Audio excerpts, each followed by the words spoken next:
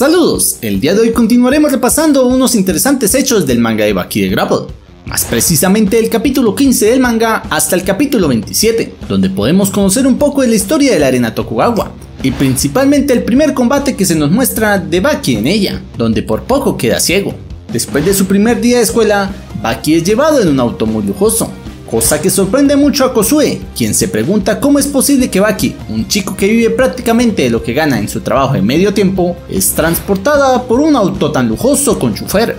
Luego de eso vemos cómo Dopo convence a Kato de volver a la escuela de karate, el Chinchinkai, y como bienvenida a la escuela, Dopo le propone un duelo a Kato con uno de sus alumnos, donde se da un combate muy corto, con un pequeño intercambio de golpes, pero Kato en un ataque es capaz de partir la palma de la mano de su contrincante, y luego lo remata con un fuerte golpe en la cara, dejando a su contrincante tendido en el suelo. Pero Kato parecía querer rematarlo, pero es detenido por su maestro, el gran Doporoshi. Kato alardea ante sus compañeros por su victoria fácil, diciendo que su karate ya estaba a otro nivel, muy por encima de cualquiera de ellos. Por lo que Dopo lo reprende con un fuerte golpe con sus dedos en la frente, mientras le dice que sea moderado, para luego invitarlo a un lugar especial, una de las maravillas ocultas de la ciudad de Tokio, una vez llegan a la cúpula de Tokio, Kato se muestra decepcionado, ya que este lugar no le parecía ningún tipo de maravilla. En este momento aparece un viejo enano, quien al ver a Dopo lo saluda con mucho entusiasmo, lanzándose hacia los brazos de este maestro de karate, para luego comenzar su recorrido por las instalaciones del lugar, donde Dopo se encargaba de llevar al viejo Mitsunari Tokugawa con su brazo derecho, sosteniendo sus pompas con su mano, una situación bastante rara, según mi opinión llegando así a un elevador, donde se disponen a bajar hasta el sótano 6 del domo, algo que sorprende a Kato, ya que este creía que este sitio solo tenía dos niveles de sótano. Una vez llegan a la última planta, el abuelo los guía hasta un coliseo cubierto, un coliseo que estaba lleno de personas, cosa que asombra nuevamente a Kato, quien no podía creer cómo debajo de la cúpula existía una arena de combate. Es ahí donde el abuelo le explica que ese sitio está fuera del alcance de las leyes de Tokio, o mejor dicho, de Japón, ya que solo ciertas personas tenían conocimiento de ese lugar y los combates que se llevan a cabo allí, personas que van por el amor a los combates. Y luego explica que quien dio origen a este tipo de combates, o mejor dicho, a crear este tipo de escenario para demostrar el amor a estos encuentros, fue su antepasado de 11 generaciones, un tal Mito Koumon, o también conocido como Tokugawa Mitsukuni, un ser que en verdad sí existió en nuestra realidad, quien fue un gobernante acaudalado entre los años 1660 a 1690. En este momento da inicio a un combate, el combate de un sumo profesional y un luchador profesional, un combate donde todo está permitido. Dopo le explica que morder, estrangular o quebrar las pelotas de su oponente está permitido, mientras le hace esta demostración a Kato. Otra escena innecesaria donde Itagaki nos muestra cómo Dopo le toma las pelotas de Kato con su mano. La pelea da inicio, pero termina después de un par de golpes donde el sumo sale como el vencedor del encuentro. Mientras tanto en los camerinos estaba aquí alistándose para su próximo combate, colocándose sus vendas características en muñecas y tobillos. En este momento Baki nos revela que cuando se coloca sus vendas, siente como su cuerpo comienza a sentir una comezón y la emoción de salir a destrozar a sus oponentes, llegando así la hora del combate por lo que comienzan a llamar a Baki al escenario como el campeón y más joven combatiente de la arena. Todo el mundo le aplaude y le alaba, cosa que sorprende mucho a Kato. No se podría imaginar cómo Baki fuera tan popular como luchador.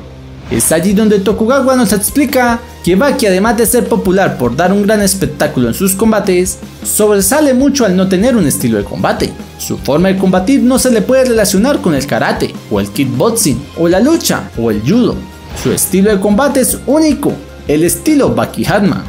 En este momento se revela que el nombre del oponente Baki es un luchador llamado Shinogi, un nombre que hace estremecer al mismísimo Doporoshi, un tipo que tiene un rostro femenino según mi opinión,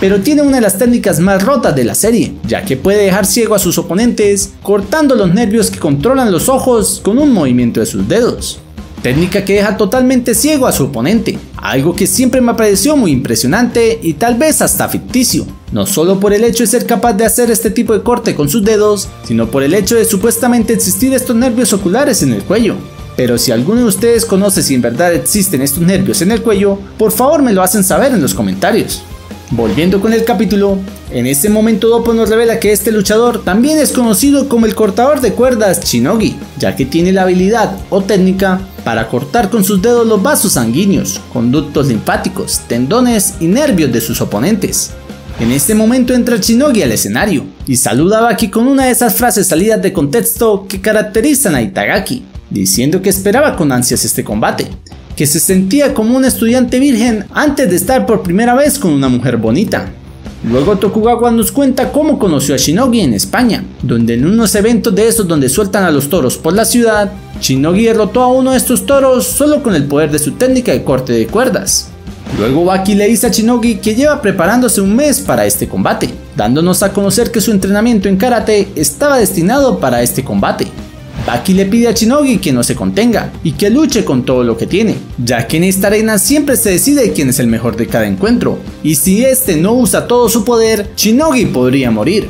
Baki comienza el combate lanzándole una poderosa patada apuntando a la cara de Shinogi, pero este la detiene con mucha facilidad con su mano izquierda, generándole así un corte en su pantorrilla.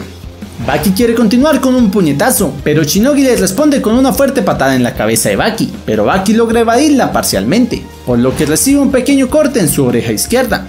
Shinogi intenta usar su técnica para dejar ciego a Baki, pero este logra esquivarla, mientras al mismo tiempo responde con un golpe de karate al pecho de Shinogi, lanzándole contra estas paredes que limitan la arena del público espectador. Y luego Baki se lanza con un fuerte rodillazo a la cara de Shinogi, quien aún no se había levantado. En este momento en medio del público aparece un tipo con pinta de militar, alguien a quien conocemos como el general Stridon, quien se cuestiona si este chico es el hijo de Yujiro Hatma. En este momento Shinogi aprovecha un descuido de Baki y le perfora el bíceps de su brazo derecho y le corta uno de sus nervios, generándole a Baki un gran dolor, además de perder la sensibilidad del brazo hecho que aprovecha Shinogi para lanzarse sobre Baki con una tanda de patadas en diferentes ángulos. Cuando ya tiene a Baki contra el suelo cubierto de sangre, Shinogi procede a golpear con todo su poder a la bola de Baki, pero este reacciona antes dándole una poderosa patada en la cara, para luego decirle a Shinogi que si quiere ganarle, deberá usar algo más que deshabilitar su brazo, ya que solo el más fuerte ganará. Shinogi se muestra aún muy confiado por su ventaja y lanza una fuerte patada, pero Baki la esquiva con mucha facilidad. Shinogi sigue lanzando ataques uno tras otro, patadas y golpes, pero todos son esquivados o detenidos por Baki. Shinogi reconoce a Baki como luchador y sobre todo halaga su crecimiento como guerrero a pesar de ser solo un niño para luego recordar cómo fue su evolución como guerrero, cómo pasó de ser un aprendiz de karate al gran artista marcial que es hoy en día gracias a su duro entrenamiento. Shinogi se pone en una postura de ataque, se está concentrando para acabar con Baki, mientras el público le dice que Shinogi va a matar a Baki. Shinogi comienza a atacar a Baki como si fuera una fiera acorralando a Baki contra una esquina. Baki para poder salir de su ataque apoya su pie sobre la cabeza de uno de los espectadores tronándole así el cuello. Luego de eso vemos como Baki comienza a esquivar nuevamente los ataques de Shinogi. Al parecer puede ver sus ataques y predecirlos.